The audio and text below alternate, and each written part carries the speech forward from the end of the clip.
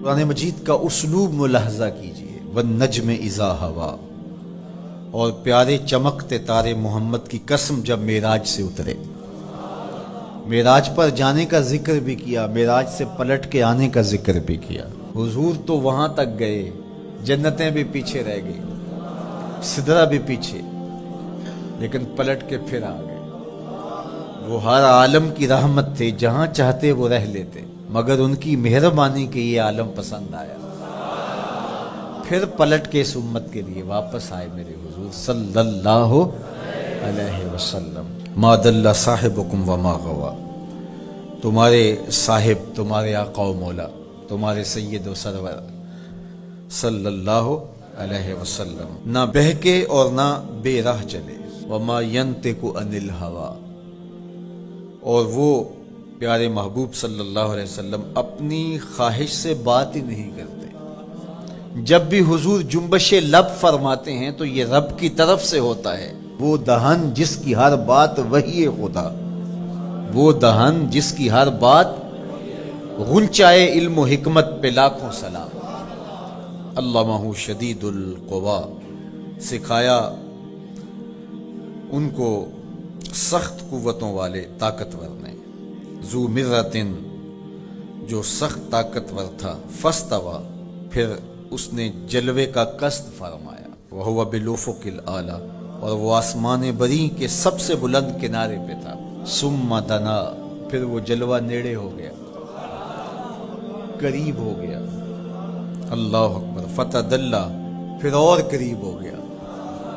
फ़काना काबा कौसैन अदना तो उस जलवे और उस महबूब में दो हाथ का फासला रहा, जिस तरह दो कमाने आपस में मिलती तो इतना फासला रह गया। अब यहीं अगर कुरान बात को ख़त्म कर देता तो कोई कहता कि समझ आ गई, अल्लाह और उसके रसूल की कुर्बत की।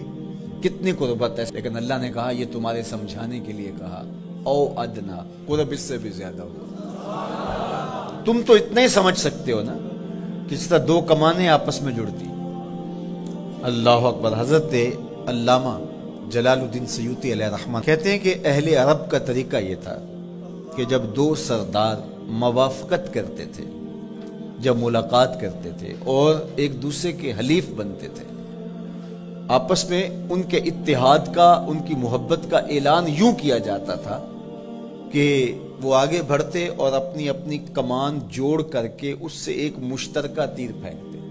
ये इस बात का ऐलान था कि आज के बाद हमारा इतिहाद हो गया है।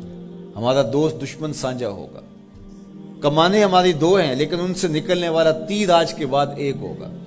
ये इस बात का ऐलान है कि इनका दुश्मन हमारा दुश्मन होगा, हमारा दुश्मन इनका दुश्मन होगा।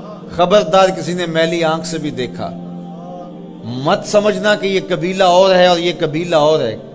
अगरचे अलग अलग कबीले हैं, लेकिन हमारी मुवाफ़त हमारी मुबानसत हमारी मोहब्बत, हमारी वहदत, हमारी यगानगत, हमारा प्यार, हमारी सुलो, हम ऐसे हलीफ बन गए हैं, कमाने दो हैं, निकलने वाला तीर एक होगा।